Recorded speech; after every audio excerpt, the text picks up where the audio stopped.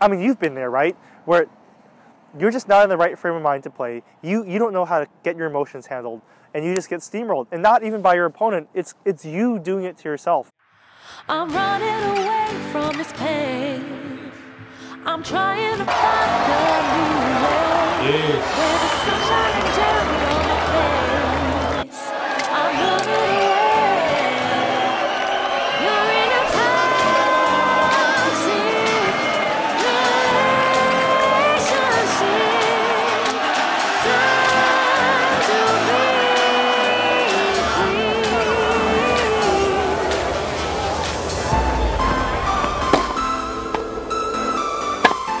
What's going on, guys? It's Coach Steven with 15 points of tennis. It's a gloomy day today.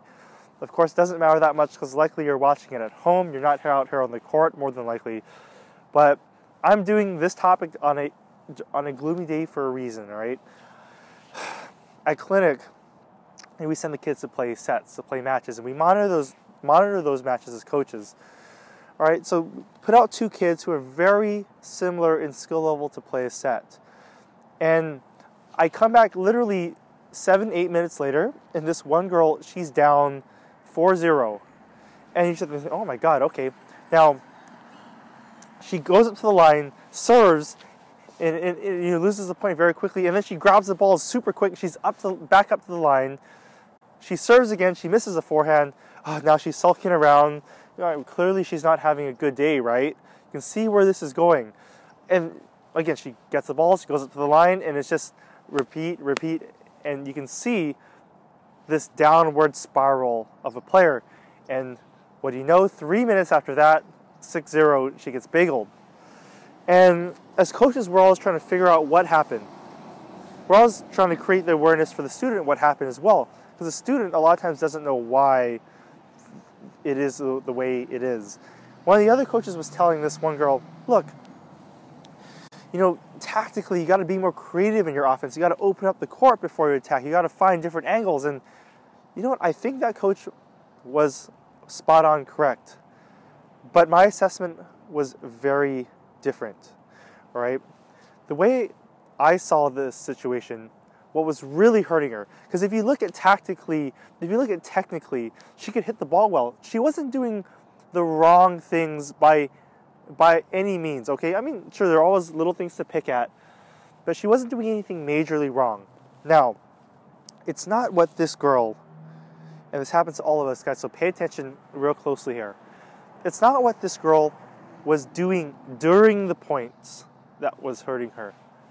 It's what she wasn't doing in between the points that was hurting her. So get that, right? Not when the ball was in play, but when the ball wasn't in play. And a lot of you guys think that you're only playing tennis, that tennis only occurs when the ball is literally going back and forth over the net. That is not true. So, as coaches, you know, a lot of times we're looking at more than just what goes on during the point, the ball going back and forth across the net. We're looking at how the player carries himself, their body language, their demeanor, their, their energy level, okay?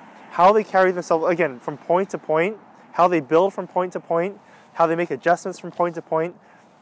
All these things matter. And what's really funny is when you look at a player's behavior when they're not playing the point, you, it's almost in a scary way reflects their level when they are playing the point. So if you look at recreationally competitive players, all right, they kind of act in a certain way.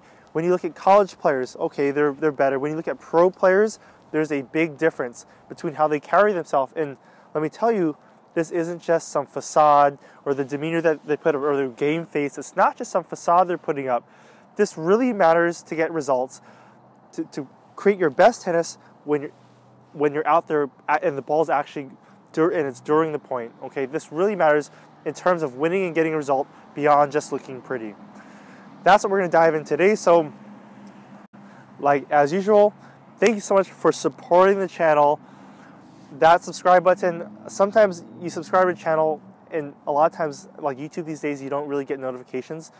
Um, the new form of subscribing is if you can hit that bell, and that way, again, you actually get the content in front of you because that's not always the case, and that I know for sure, okay? Because I subscribe to a lot of things, I, I don't really get notified when they put out new stuff. All right, so again, appreciate it so much. We're gonna rock into this video now. For starters, if you just want the quick version, and I know a lot of people don't love the more mental type of videos, they just want the more technique videos, which is okay. If you want the quick rundown, I'm gonna give it to you right now, all right? But if you want the full impact of this lesson, you're gonna actually sit through and see how this all wraps together, because I'm gonna wrap it together to give you the full impact.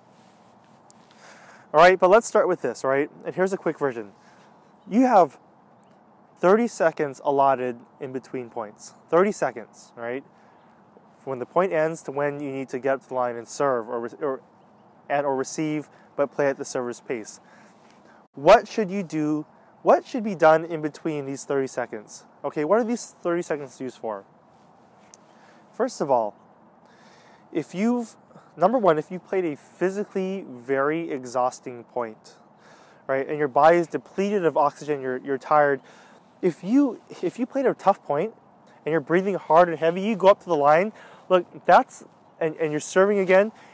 That's the most like, likely chance you're going to double fault again. You're going to make some silly error off the return and not be ready and shank the return. It doesn't make sense to go up to the line. Look, go back to the back fence. Take deep calm, centering breaths, lower your heart rate, get that under control, okay, before you go back up, right, to, to the point, because you're not going to be, again, physically prepared. If your legs are aching, just give your body some time to recover. Now, it seems simple, players don't do this, all right? It, it, now, for me personally, when it, it comes to dealing with tolerance to pain, what I like to do is especially if I played the first brutal point of the match. Look, when you play the first brutal point of the match, your body is going to be kind of in shock because a lot of times you'll have nerves and anxiety or different feelings in your body. You won't be used to that, or you might you won't warm up with that same intensity. Your body will feel that shock of right of of stress of, of strain on your body, on your system. I like to go to the back fence and just really just just internalize that feeling and try to normalize it and set that expectation for myself that this is what's going to occur throughout the rest of the match. And that way, when that feeling comes up again, I can, I can grind it out. Instead of if you try to ignore that feeling and tell yourself that it's a negative feeling, right, and not accept that feeling, well, you're probably going to go back into the next point to try to avoid that feeling and get impatient. All right, so really internalize it, tell your, and just embrace that feeling because when you normalize it, it won't feel as bad the next point and the next point and the next point. All right. So that's the first thing, and that's the least important reason. All right. The next thing you should focus on. The second thing, when you're taking those 30 seconds in between points, is to prepare yourself emotionally. So tennis is, as we all know, a very emotional sport. Ups and downs. There's times you're so frustrated you just want to pull your hair out, and I get it. And so if I if, if I play if I'm frustrated for whatever reason, the win, the you know the, the opponent cheated me, whatever, I'm playing bad, and I walk up to that line, and my and my focus is scattered. I'm thinking about the last point. I'm thinking about I'm getting mad, down and mad at myself. If my focus is scattered, my energy is scattered. There's no way I can put all that focus and energy on the present moment, that next point. And that next point is the only thing that really matters because one, it's the only thing you can control, and it's the only thing that's going to affect the outcome of the match. Nothing you did in the past is going to affect the outcome of the match, obviously, right? So to go back, whether it's self-talk, and now that can be something like self-talk and developing your own process to deal with yourself emotionally and understand your emotions, whole, whole separate video, all right? But that's one of the other things. So that, that self-talk, okay, or at least letting the if, if your emotions are boiling, letting it settle simmer a little bit, simmer down a little bit before running up to the line and self-destructing. And a lot of players self-destruct, yes. All right, very common. The last piece of the puzzle, okay, and then we're going to go into some deeper stuff after, is, and the third thing is these points happen so fast, one after another after another if you're playing these points so super fast, I mean, look, we all know that tennis is an impromptu sport. You're just there's so much stimulus that happens during the point. You're just reacting, reacting, reacting for the most part. But whether it's that 30 seconds or whether it's that 90 seconds on a changeover, you can have some proactive thoughts instead of just purely reactive thoughts and think about okay, you know, what combos is my opponent running using on me that's effective? How can I attack my opponent's weakness better? Where am I getting hurt? Am I getting pushed around? Do I need to change my court position? Have they adapted to my combos and I need to switch things up and add more variety? So, again, not to overthink those issues, but to put a, little distance between you and the match, take a breather, have a moment of awareness. And again, awareness meaning awareness of your own body and, how you're playing, and awareness of how your opponent's playing. See, some players play so fast they blink like three times and the set's over. Just like that girl I talked about. Okay, it's over. So, so look, those are the three things that you need to focus on in those 30 seconds. And not all of them. Sometimes some days one thing more, and sometimes the other. Sometimes none. It really depends. Now, on the premise of everything depends. In, in tennis, the answer is almost always it depends. Because you have 30 seconds, but you see Roger go up to the line, bang, ace. 10 seconds later, bang, service winner. 10 seconds later, bang, slice out wide, forehand up the line, winner. And then he, the game's over in literally 60 seconds. Whereas Nadal, you see him kind of trot around, you know, bounce around like this, right? Go through his, his long routine, take the full 30 seconds.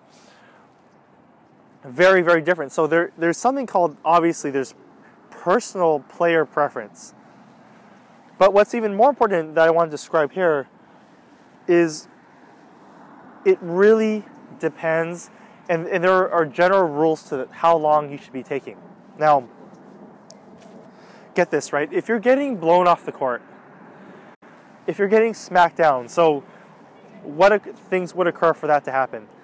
If your opponent is on fire, if your opponent, if every ball they touch, every every ball they hit on their strings is just like clean, they're in rhythm, they're just crushing winners on you, and and or you're not feeling good, you're playing bad, you're playing down, you're just not seeing the ball well, right? So if your opponent is playing up, you're playing down. What you want to do in that case is stretch out the points, put as much time between each point as possible, the full amount of time if you can, and stretch out as many points over as long duration as possible. And why is that? Tennis, just like anything else, whatever goes up must come down, normally comes down. If you're playing bad, well, you'll probably start to play better, right? Because there are a lot of factors. You know, one being, let's say, your adrenaline level. Sometimes you might catch a second win later in a match, or you might come out a little sleepy, or you might, you or your opponent might lose a little focus for a bit, or just, or, or again, just have a hit of adrenaline and, and be really sharp for a few moments. All right, but if your opponent is blowing you off the court, okay, instead of just going up to the line and letting them blow you off the court again and again and again, and the match will be over in 15 minutes, take a little bit of time, okay? Maybe their adrenaline might come down. But think about this, right? If I fed you a ball and fed you a ball and fed you a ball and fed you a ball again and again and again repeatedly, and you were and you were just in in the zone in a great groove, and you hit winner after winner after winner after winner. Okay, that's one thing. But another thing is if I fed you a ball and let's say bang you hit a winner off that ball, then I said okay, 30 seconds. Wait, let's wait. That was like five seconds, okay? But 30 seconds is a long time. I made you wait 30 seconds. Okay, maybe now you're not quite as pumped up. You're not quite as energetic, etc. Then I fed you another ball. Okay, boom, maybe hit another winner. Okay. I said, let's wait 30, another 30 seconds. And I waited and waited and waited. That changes the dynamic of the match in a big, big, big way. Okay? Now, look, you know, on the flip side, if you're destroying your opponent, and your opponent's in a bad frame of mind, they're coming up to the line, they're in a bad mood, right? And sure, you know, win 15 out of 20 points. Go, go on a run, steamroll them, right? You want to get to the line as quickly as possible if they don't have that awareness to slow down. And it's almost like taking a timeout in basketball or timeout in football.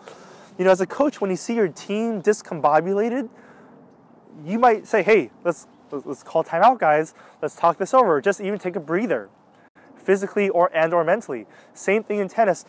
And you, in tennis, you're out there coaching yourself. If you're watching yourself out there a little discombobulated, and or things not going well or someone else getting the hot hand for instance you might it might be a great idea to take uh, put a little bit more time between points or etc okay now don't be unethical with this because again if the skill gap is so big it won't matter right? Because tennis is there's so many elements of tennis. This is just one of them. And this is a great element. No it's not underhanded. It's called this you're playing within the rules and you're having a massive amount of awareness between what's going on with you and your opponent. And the, and, and, and the awareness of time okay? So it's great awareness training right? So it's not unethical but don't abuse it. So quick story. My buddy and i were playing a, a tournament in sacramento this is junior tournament many years ago and i know he had squeaked out the first set like 7-6 and he had lost the second he got he got smashed the second set like 6-1 so they split sets and he tried to ice his opponent down. He went, normally you tell the line judge, and you give that there's a 10 minute break between the second and third set, and then you set the timer, right? So he didn't tell the line judge. He just went to the locker room. He came back 25 minutes later until the line judge realized, like, what's going on here? Why aren't these guys playing? But, anyways, he went to the locker room, just sat there. The match didn't start till 25 minutes later and he kind of got what he deserved. So he still got he still got beat in that set, um, and that he ended up losing. But you know, use it within reason, okay? Within reason. What a difference a year can make. Oh, that's a tank. He's kind of imploding. Early in the second set, the 20 year old appeared to give up completely, and the crowd was disgusted. 40 love. Now, that girl, remember that I, I mentioned at the beginning of the video, who had lost at that set 6-0, look, she looked so beaten down. I told her to come over because, you know, I want to talk to the, the student a little, just for a few moments after, after the set to do just a, even a quick breakdown, right? And, oh my God, she looked like she's having the worst day of her life. Her body language, her shoulders were slumped, she was moping around. And I'm like, okay, look, what happened out there? Like, I'm because clearly that wasn't her. I'd seen her half an hour prior in the drill session. She didn't look like that. How in the world could someone look like that? You, like you couldn't say anything, you couldn't do anything for someone to look like that. But here's what she was doing, and then this is what I told her. This is what you're doing. That 30 seconds we talked about, so she would play the point. Okay, maybe she'd miss in the net, whatever. She missed the wide. She would come back to the fence and instead of the things I was talking about, for 30 seconds, she would punish herself and punish herself and punish herself and punish herself and beat herself up mentally for all the bad things she was doing. And then she like basically she it looked like someone had like literally beaten her with the tennis racket, but she did that to herself. Okay, she would do that to herself. Go back up, up to the line. She'd be in this terrible mental state. Now, what do you think is going to happen? What do you think is going to happen when you serve that next ball? It's going to be a disaster. You're, you're not in the. And what do you think she looked like at the end of the match? Okay, and, and this is, here in of itself, this is the question. Now, on one end of the spectrum, look, look, guys, I totally get it. Right, I'm not the type of coach who is, you know, all about being soft on the players and saying, oh, you know, if you don't feel good today, you can't play. No, I, I totally agree. And I can, you know, at some point I'll make a video on, look, you got to find a way to win. you we're not robots. We're not going to feel good every day. Our emotions are changing. Like emotions are just passing moments in our lives. We should be able to separate our emotions, okay, from the things we need to execute on. Set our emotions aside. It's just distractions, right? Because if you want to get real results, you have to wake up every day and, and plow through. Look, I get that. I get that. I get that. I get that. All right. I'm not a proponent against that. So that's on one end of the spectrum. So I'm pushing hard on that end of the spectrum. But I also understand the other side of the spectrum. Okay, and I think you'd have to be an idiot to disregard the fact that your emotions also do matter. Okay? And unlike that girl who's emotionally depleted, like your emotions absolutely matter and, and here's why. I'll give you two reasons. So A, the first reason is how you feel and your emotions, that is your experience of tennis. All right, that is is tennis to you. So like if you're out on the court and you feel anxiety, misery, agony, okay, emotional pain, negativity, look, and I get it. Like, you know, you see Novak Djokovic explode and Federer get upset. Every, we all have our sports, but if that's your reality every single day, that's what tennis is going to be for you. It's going to be a negative experience. So, like, let's say you're pushing through. Look, you can you can do well for a short period of time, stay motivated, three months, six months, nine months, but try to try to be in that state and have that relationship with te- with the, with tennis, and be able to push through three years, five years. How what how will that be in terms of longevity? All right, I think it's pretty self-evident. Now, the second reason is more practical, maybe something you care about a little bit more right here and now. The second reason your emotions matter is think of like the, the best day that, that you've ever had playing tennis. And if you haven't had th- that day, you know, I'm sorry. you know, you're gonna have to play. You haven't maybe you haven't experienced that yet. But for a lot of us, if you think of your, your absolute best, even if it wasn't your best day playing tennis, and I'm talking about maybe sets or moments you've had on the tennis court, right? It, tennis didn't feel like this drag, like you're experiencing all this self resistance, fighting with yourself, and right, this agony. And no, no, no. It when you were in the zone, everything was just flowing. Everything was just natural and easy and carefree, and you were playing from a place of of inspiration. Okay, not from a place of desperation. You were letting it happen. kind of bad. Yeah, I guess.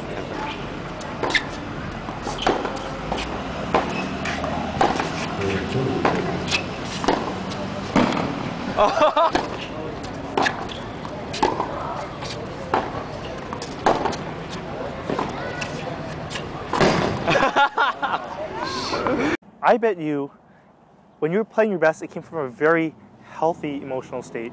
Whereas liberating, it wasn't draining your emotions, right? It wasn't, you, you would have to feel something from within yourself. Again, it was liberating and energizing when you played, and you wanted to play, all right?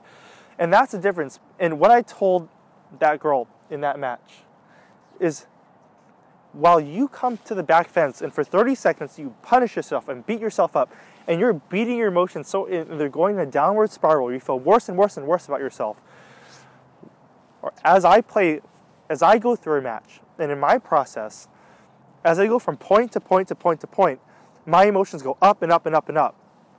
I'm feeling better as the match goes on because i'm raising my emotions. I'm self-generating my emotions.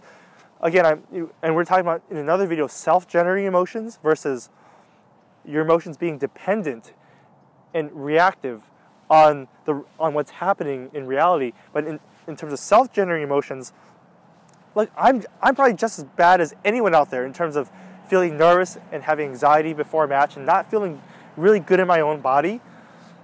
But as the match goes on, look, I'm feeling I'm feeling the flow even more and more and more. And look, I have terrible days too, don't get me wrong, but for the most part, my mental process is I'm coming in here and reinforcing the right things. I'm building myself up emotionally, and that's the difference between a downward spiral versus someone who's who's driving their emotions up and up and up and up.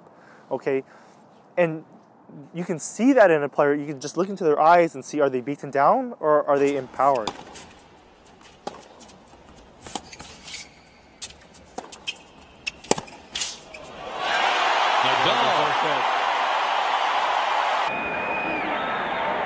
Reminds a little bit of center court at Wimbledon.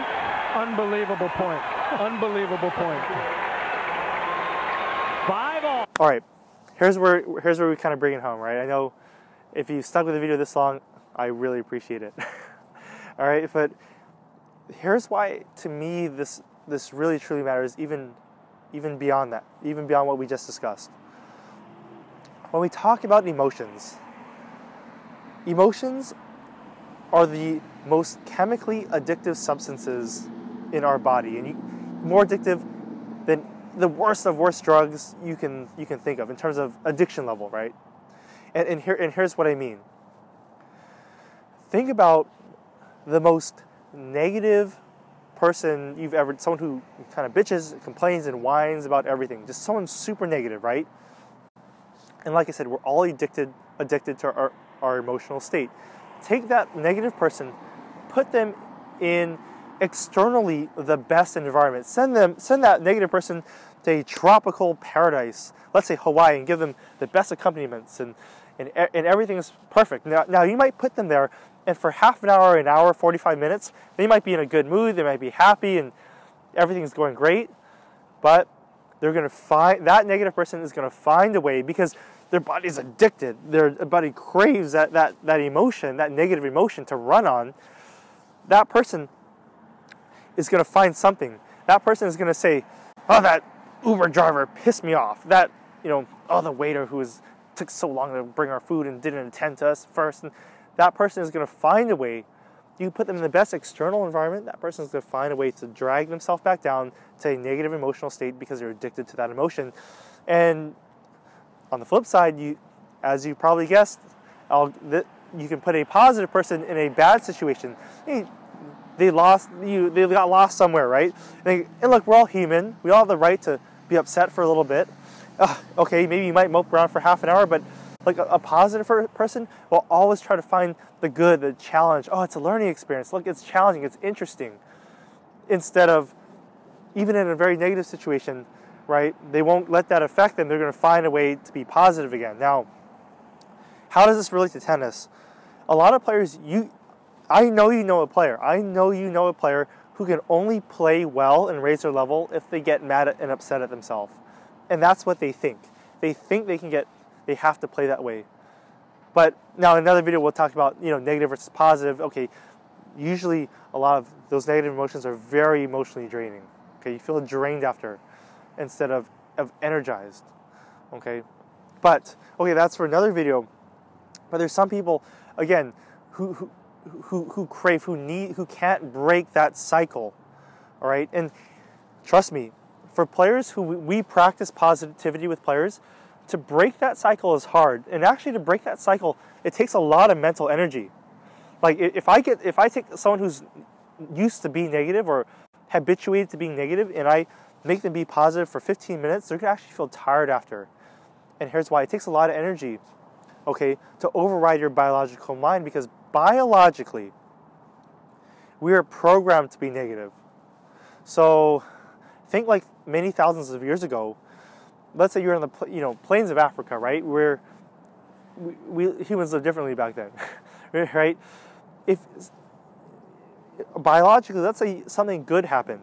Let's say you found a pot of honey. Wonderful, right? Okay, that can only help you so much. Something positive can only help you so much. But something negative, for instance, like being chased by a lion, that can be life threatening. So something negative can be life threatening, while something positive can only help you so much. So, what does that mean? Biologically, we're much more keen to focus on the negative. All right, we're, we, are we are so fine tuned and dialed in to the negative things that occur.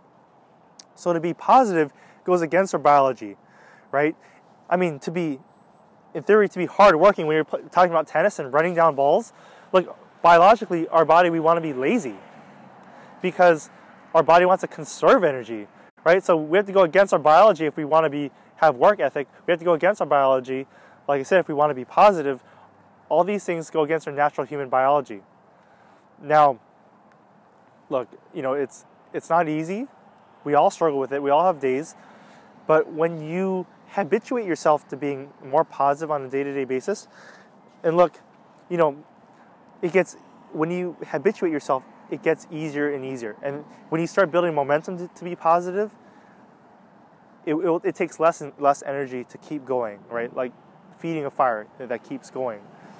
Okay, so I want to wrap the video on that note. All right, and not only can changing your emotional mental state, taking that 30 seconds, the practical things, but what impacts me is I see a lot of very talented players. Talented players never reach their potential, just like that girl who could have been even with that other player. Instead of losing the set 6 0, I mean, you've been there, right? Where you're just not in the right frame of mind to play. You you don't know how to get your emotions handled, and you just get steamrolled, and not even by your opponent. It's it's you doing it to yourself for the most part. All right, we all self sabotage. Okay, we all self destruct. But to create a little space and awareness, and you can't ever prevent it entirely. Okay, I want to make you aware of it in this video. Okay, so that's the first part. The second thing is, it just pains me because like tennis, it's a joy to play. I love, I appreciate the game. I feel like we're all out here to truly enjoy and appreciate playing this game. To see someone so beaten down after they've played and and to know that the game is making their life worse instead of better, that really hurts my soul. okay. All right, so thank you so much for getting to the end of this video. I hope it's if it's not something that can change your game tomorrow over the long term and show you that everything you do on the tennis court matters, not just hitting the ball, but how you think, how you prep for each point. So you're playing every point to your optimal. All right? Thank you so much. And we'll see you, hopefully when it's a little bit drier, we'll see you on the next episode.